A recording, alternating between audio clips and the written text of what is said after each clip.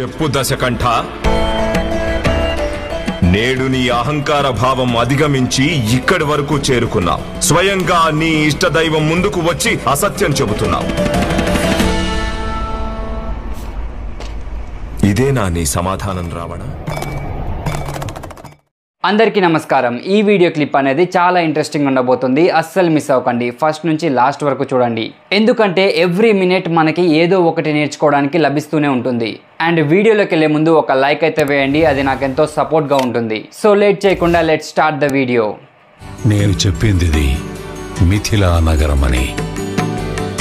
అంతేగాని నగరంలోకి వెళదామన్నానా? శివధనస్సుని ఇక్కడి నుంచే దర్శించుకో లక్ష్మణ. కానీ మనం నగరం వెలుపల నుంచే వెళుతున్నాము లక్ష్మణ కుమార.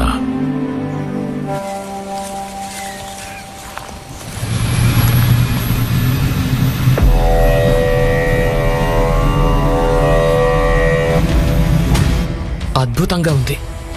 ఇంత అద్భుతమైన విమానం ఎవరిది గురుదేవా?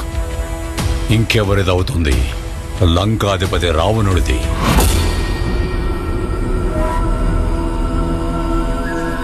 ఖచ్చితంగా శివధనస్సు కోసమే ఇక్కడికి వచ్చి ఉంటాడు.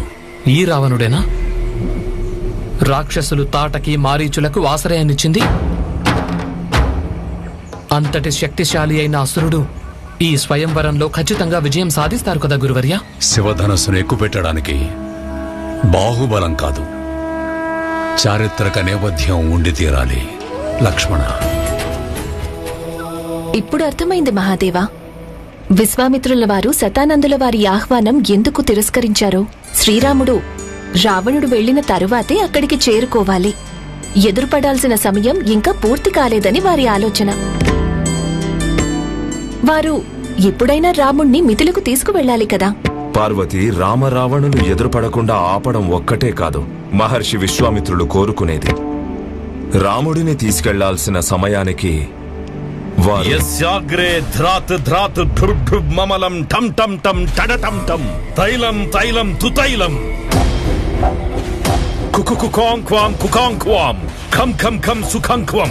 ఢం ఢం డుఢస్ డుహుచకితం భూపకం భూయనాళం. ధ్యాయాస్తే విప్రగాః స్థవసతి స్థవలః పాతు వః చంద్రచూడః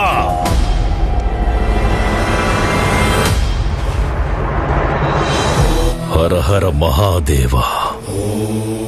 ప్రణామాలు మాత. దేనికో దుఃఖిస్తున్నావు రావణ? కారణం మీకు తెలుసు కదా మహాదేవ. మీరు నన్ను అందరి ముందు ఎందుకని అలా అవమానించారు? ఒక ఎనిమిది సంవత్సరాల బాలిక ఆడుకుంటూ అలవోకగా ధనుస్సునెత్తింది మరి నేను మహాశక్తిశాలినైన మీ పరమ భక్తుడను. ఆ ధనస్సునెత్తలేకపోయాను దీనికి మూల కారణం మీరు కోరుకోకపోవడమే. కారణం నేను కోరుకోవడం కాదు దశకంఠ. అసలైన కారణముని కర్మఫలం. కేవలం నీవు నా భక్తుడివి కావడం వల్ల నీవు చేసిన కర్మ తప్పిపోతుందని కాదు. ఇంకా సమయం మించిపోలేదు. నీవు నీ మార్గాన్ని మార్చుకో. నీ అతీత శక్తి సామర్థ్యాలను లోక కళ్యాణార్థం వినియోగించు. నేను ఈ లోకం నుంచి ఏమి పొందలేదు మహాదేవ. నేను పొందిందంతా లాక్కున్నదే. కాని మీరు మీరు మహాశివుడు. లోకరక్షణకు విషాన్ని స్వీకరించారు. మరి మీ ఈ భక్తుడికి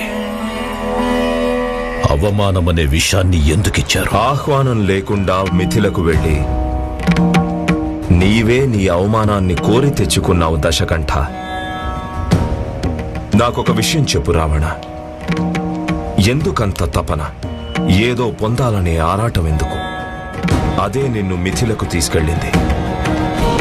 నా ఆరాటం. మీ పవిత్రమైన ధనుస్సు పినాకిని పొందడానికి. ధనస్సు మాత్రమేనా? మరి దేనికోసము కాదా?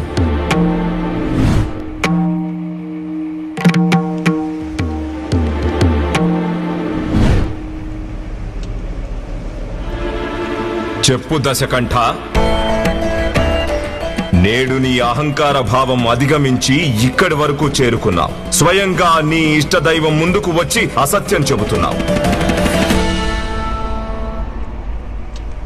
ఇదేనా నీ సమాధానం రావణ? సీతాదేవి ధనుస్సును ఎత్తింది అంటే తన మనస్సులో కృతజ్ఞత ఉంది. వాంఛ కాదు. కాని అదే ధనుస్సును నువ్వెత్తలేకపోయావు అంటే అందుకు కారణం నీ మనస్సులోని అహంకారం. భావోద్వేగం కాదు. నువ్వు ఎంతో అదృష్టవంతుడివి లంకాధిపతి. నీ జీవితంలో మండోదరి వంటి పుణ్యమూర్తి భార్యగా ఉంది. మేఘనాథుడి వంటి ఆజ్ఞాకారుడైన పుత్రుడున్నాడు. కనుక నీది కాని వాటిని పొందాలనే కోరిక వదులుకొని ఉన్నదానిలో సంతృప్తిగా ఉండడం నేర్చుకో. నేను నేర్చుకున్నది ఒకటే మహాదేవ. జీవితంలో ఏదైనా దక్కాలంటే ప్రయత్నించాలి లేదా ప్రతిఘటించాలి. నేడు మీరొకటి నిరూపించారు. మీరు కేవలం దేవతల్ని సమర్థిస్తారు. రాక్షసుల కండగా ఎప్పుడున్నారని మీరు? అయినా ఈ రాక్షసుడు మీ పరమ భక్తాగ్రేసరుడు. మీరు ఈశ్వరుడు ఇష్టాయిష్టాలు మీవే. మీరెప్పటికీ దేవతల వైపే ఉండండి. కానీ ఏ రాక్షస భక్తుణ్ణి వారి స్వభావాన్ని మార్చుకోమని ఆదేశించకండి. నా ఇష్టదైవమైన మీరు దేవతల్ని సమర్థిస్తే నేను కూడా మీ ప్రియ భక్తుడను రాక్షస రాజును రాక్షసుల వైపే ఉంటాను. మీరు దయచేసి దేవతలు ఆశించిన విధంగానే చెయ్యండి అలాగే ఈ రావణుడు చెయ్యబోయేది కూడా రాక్షసుల క్షేమం కోసమే. మంచిది దశకంఠ. అలా అయితే నీవు నీ కర్మ ఫలాలను అనుభవించడానికి సిద్ధంగా ఉండు. హర హర మహాదేవ. ఉంటాను మాత. రావణుడి క్రోధాన్ని చూశాను. ఇక రాముడు సీత ప్రేమను చూపించండి. చెప్పండి విశ్వామిత్రుల వారు రాముణ్ణి తీసుకుని జనకపురి ఎప్పుడు వెళ్తారు? వారు ఎప్పుడు కలుస్తారు? సమయం వచ్చినప్పుడు విశ్వామిత్రుల వారి మార్గం మిథిల వైపుగా సాగుతుంది. లక్ష్మణ గురుదేవుల తదుపరి ప్రయాణానికి సిద్ధంగా ఉన్నావా? అన్నయ్య గురుదేవులు మిమ్మల్ని ఏదో మహత్వపూర్ణ కార్యానికే సిద్ధం చేస్తున్నారేమో అనిపిస్తోంది. అత్యంత కఠినమైంది. నిజం చెప్పావు లక్ష్మణ. వారి ప్రతి లక్ష్యం వెనుక ఒక మంచి ఉద్దేశం ఉంటుంది. వారి ఆలోచన గురించైతే నాకు తెలియదు కానీ నా ఆలోచన మాత్రం అవకాశం ఉంటే మిథిలా నగరం వెళ్ళి పర్యటించాలనుంది. నగరం చూడాలి. అక్కడి సౌందర్యం విశేషమైన శివధనుసును చూడాలి. బాగుంటుంది కదా అన్నయ్య? నా ఆలోచన కూడా అదే లక్ష్మణ. ఈ రోజు మనం ఇక్కడే విశ్రమిస్తున్నాము రామా. మీ ఆజ్ఞ మీ గురుదేవ ఆజ్ఞ గురుదేవా. నేను ఇక్కడే విశ్రాంతి తీసుకుంటూ ఉంటాను. మీరు వెళ్ళి మిథిలను సందర్శించరండి రామా. ఏదైనా నగరాన్ని సందర్శిస్తే అక్కడి ఆచార వ్యవహారాలు తెలుసుకుని జ్ఞానాన్ని పెంపొందించుకోవచ్చు. కావాలనుకుంటే లక్ష్మణుడిని కూడా వెంట తీసుకెళ్ళొచ్చు ఎప్పుడు వెళ్దాం లక్ష్మణ? ఇప్పుడే ఈ క్షణమే త్వరగా వెళ్ళిపోదాం. ఎవరికి తెలుసు? గురుదేవుల ఆలోచన ఎప్పుడు మారిపోద్దు. రండి రండి. సునయన మహాదేవుడు తన ధనస్సుని మిథిలలో ఉంచారంటే ఇక్కడ అంతా శుభమే జరుగుతుంది. నమ్మకంతో ఉండు.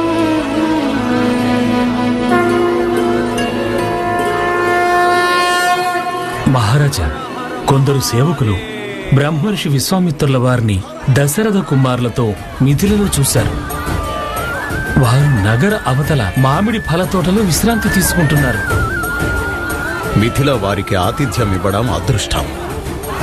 వారిని గౌరవంగా నేను స్వయంవరానికి ఆహ్వానించడానికి వెళ్తాను. రండి.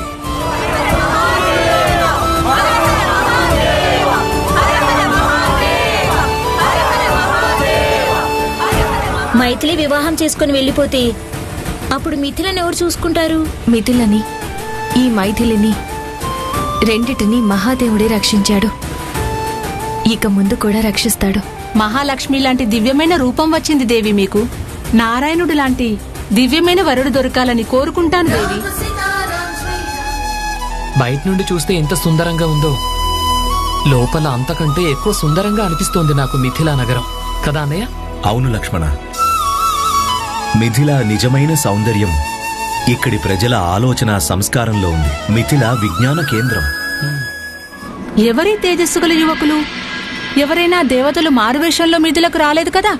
దేవతలే ఎందుకు? ఎవరైనా రాజకుమారులు కూడా అయ్యుండొచ్చు కదా. సీతా స్వయంవరానికి వచ్చారేమో రాజకుమారులు ఇలా ఎక్కడైనా వీధుల్లో తిరుగుతారా? వీరు గంధర్వులు కాదు కదా? అయ్యుండొచ్చు. పద పద పద వెళ్ళి చూద్దాం. చూద్దాం. అన్నయ్య ఆ మహిళల్ని చూసారా నాకు తెలిసి వాళ్ళు మనల్ని వెంబడిస్తున్నట్టున్నారు. కానీ ఎందుకు? స్వయంవర వాతావరణం లక్ష్మణ. నిన్ను వారి కుమార్తెకు తగిన వరుడిగా భావిస్తున్నారు కావచ్చు. సో చూసారు కదా గైస్ వీడియో మీకు ఎలా అనిపించింది? అండ్ అలాగే దీని నుండి మీరేం నేర్చుకున్నారో కింద కామెంట్లో ఖచ్చితంగా తెలియజేయండి ఎందుకంటే ప్రతి ఒక్కరి పర్స్పెక్టివ్ అనేది చాలా డిఫరెంట్గా ఉంటుంది.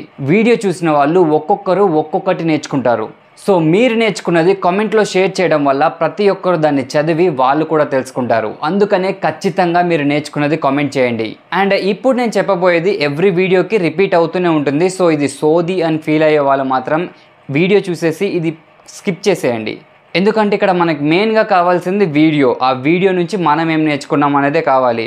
సో నేను చెప్పేది ఇదంతా సోది అని ఫీల్ అయ్యే వాళ్ళు మాత్రం దీన్ని స్కిప్ చేసేయండి. అండ్ అలాగే చాలామంది ఏమంటున్నారంటే వీడియోని చిన్నగా కాదు పెద్దగా పెట్టండి. అండ్ మీరు సైడ్ ఉండొద్దు. ఓన్లీ ఫుల్ వీడియో క్లిప్ పెట్టండి అని. సో అలా పెట్టడం కుదరదు గైస్ ఎందుకంటే నేను చేసేది రియాక్షన్ వీడియోస్ సో ఒకవేళ నేను అలా ఉంటే కనుక అది యూట్యూబ్ కమ్యూనిటీ గైడ్లైన్స్కి అపోజిట్గా ఆపోజిట్గా ఉంటుంది. అండ్ నేను చేసేది రియాక్షన్ వీడియోస్. అది చూసి మనం ఏం నేర్చుకోబోతున్నామో అది ఈ వీడియో ద్వారా మీకు చెప్పాలనుకుంటున్నాను. సో అందుకే నేను అనేది ఇక్కడ ఉండకుండా సైడ్ లేకుండా అండ్ అలాగే ఫుల్ వీడియో క్లిప్ అనేది ఉండదు.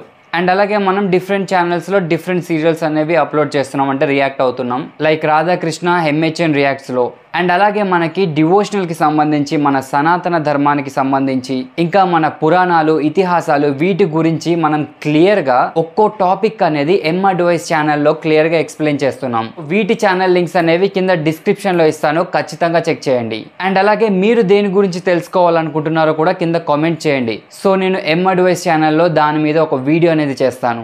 అండ్ ఈ కాలం వాళ్ళు చూసుకుంటే కనుక ఎక్కువ మనకి మూవీస్ వీటిపైన ఎక్కువ మొగ్గు చూపిస్తున్నారు. మన హిందూ సంప్రదాయాలు మన హిందుత్వాన్ని గురించి చెప్పే ఈ సీరియల్స్ని పక్కన పెట్టేస్తున్నారు. సో ఇవి చూడడం వల్ల మన లైఫ్ అనేది బాగుపడుతుంది. మన లైఫ్కి ఒక వే అంటే ఒక మార్గం అనేది లభిస్తుంది. సో ఇవి చూసి మనం నేర్చుకొని అవి మన లైఫ్లో ఆచరించాలి గాయస్ అందుకని నేను ఈ రియాక్షన్ వీడియోస్ చేసి యూట్యూబ్లో అప్లోడ్ చేస్తున్నాను. అండ్ అలాగే మన ఇన్స్టాగ్రామ్ పేజ్ యొక్క లింక్ కూడా నేను కింద డిస్క్రిప్షన్లో ఇస్తాను. చూడండి. అందులో మనకి ఎంతో ఇన్ఫర్మేటివ్ కంటెంటే ఉంటుంది. అండ్ నేను మీకు మెయిన్గా చెప్పేది ఏంటంటే మనం ఎటువంటి టైం వేస్ట్ స్టఫ్ అనేది ఇవ్వట్లేదు. ప్రతి ఒక్కరికి యూస్ఫుల్ అయ్యి వాళ్ళ జీవితానికి ఉపయోగపడేవే మనం యూట్యూబ్లో అప్లోడ్ చేస్తున్నాం. అలాగే మీకు ఒక చిన్న డిస్క్లైమర్ లాంటిది గైస్ మన కామెంట్ సెక్షన్లో ఎటువంటి నెగిటివ్ కామెంట్స్ పెట్టకండి. ప్రతి ఒక్కరికి యూస్ఫుల్ అయ్యేవి మాత్రమే పెట్టండి. ఏమన్నా డౌట్స్ ఉంటే అవి కూడా అడగచ్చు. అంతేగాని ఎవరికి యూజ్ లేని కామెంట్స్ మాత్రం పెట్టకండి గైస్ ఇది నా humble request so that's it guys next వీడియోలో కలుద్దాం. అండ్ మీకు మరీ మరీ చెప్తున్నాను ఇది సోది అని ఫీల్ అయ్యే వాళ్ళు మాత్రం ఓన్లీ వీడియో చూసి ఇది స్కిప్ చేసేయండి నెక్స్ట్ వీడియోస్ నుంచి. అండ్ కొత్త వాళ్ళు ఎవరైనా వస్తే ఇది ఖచ్చితంగా చూస్తారు కదా. సో వాళ్ళ కోసం నేను ఎవ్రీ వీడియోలో ఇది పెట్టాలి కూడా. జై శ్రీరామ్.